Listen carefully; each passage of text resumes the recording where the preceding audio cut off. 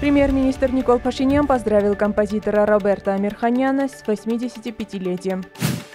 Делегация ЕГУ провела встречи с представителями правительства США в Вашингтоне. Заявления армянской стороны говорят о дистанцировании Еревана от всех форматов работы ОДКБ, заявил Панкин. Азербайджан и Турция до конца текущего года примут новую дорожную карту сотрудничества. Центральная избирательная комиссия Грузии утвердила окончательный избирательный протокол парламентских выборов. Правящая партия «Грузинская мечта» получила в законодательном органе 89 мандатов. Общее число погибших при бомбардировках Ливана израильской армии составляет уже 3445 человек. Шольц призвал Путина остановить войну. Зеленский назвал звонок Шольца Путину ящиком Пандоры. Украина разработала четыре вида ракет, заявил Зеленский. Глава МИД Японии прибыл в Украину.